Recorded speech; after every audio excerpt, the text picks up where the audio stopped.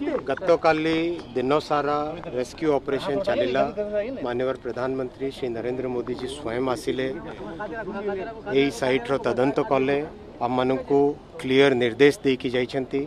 से अनुजाई complete restoration कमटा पटरी को उपरे तार को सिग्नलिंग सिस्टम को कंप्लीट सिस्टम टाक रेलवे सिस्टम रहा नियम थाए टेक्निकल नियम से अनुजाई तैयारी करार कंप्लीट जोर सोर वार फुटिंग रे कामटा चली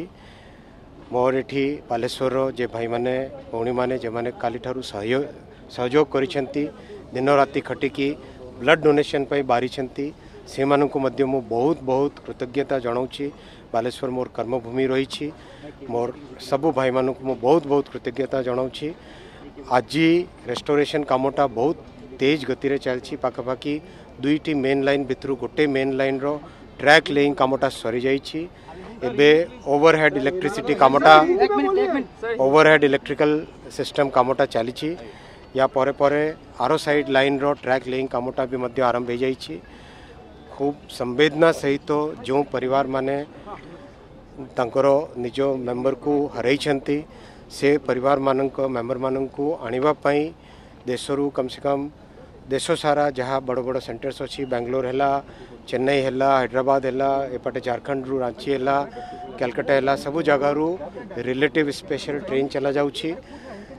ସୋ ଦ୍ୟାଟ୍ ପେସେଣ୍ଟ ପାସେଞ୍ଜରର ରିଲେଟିଭ୍ ମାନେ ଆସିକି ତାଙ୍କର ପରିଜନଙ୍କୁ ଚିହ୍ନିତ କରିପାରନ୍ତି ପୁରା ସମ୍ବେଦନା ସହିତ ଆମର ଦାୟିତ୍ୱ ଅଛି दायित्व अच्छी ଆମେ ପହଞ୍ଚାଇବା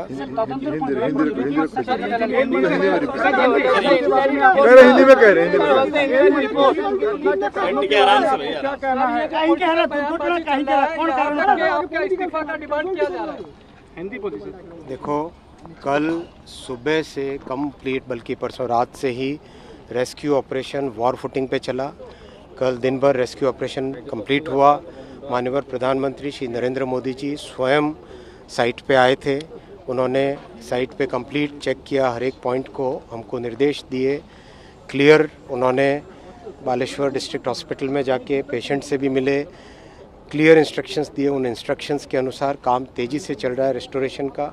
दो मेन लाइन है दो मेन लाइन में से एक मेन लाइन का ट्रैक लेइंग का काम यानी पटरी बिछाने का काम कंप्लीट हुआ है ऊपर बिजली के तार अभी लगाए जा रहे हैं कंप्लीट एक वॉर फुटिंग पे चल रहा आप देख रहे हो दूसरी वाली लाइन का ट्रैक लेइंग का काम चालू हो गया है जो मेरे बालेश्वर के भद्रक के कटक के जगत सिंहपुर के भुवनेश्वर के जो साथी कल से इस काम में लगे नौजवान जो ब्लड डोनेशन के लिए बाहर निकले जिन्होंने ठीक समय में रात के अंधेरे में सबको मदद की उन सबको मैं बहुत बहुत कृतज्ञता देना चाहूँगा बहुत धन्यवाद देना चाहूँगा